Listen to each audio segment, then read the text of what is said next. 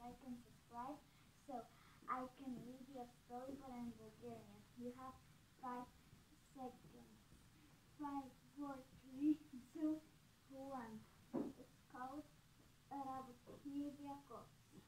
Работливия кос. Веднъж един селянин помолил коса да му помогне да отреже лозите. Аз той рекол,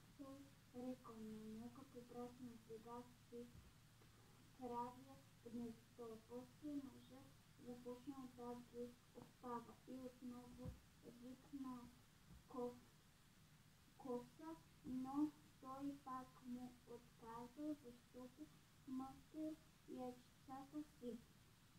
Както станало време за грозобер, селянинът пак повикал коса, но на шега. Идвам, развързал се той. Тега на се децата не чакай, щом не си е наработил, не трябва да ядеш, отвърнал селянинът. The end. Please press the thumb up button.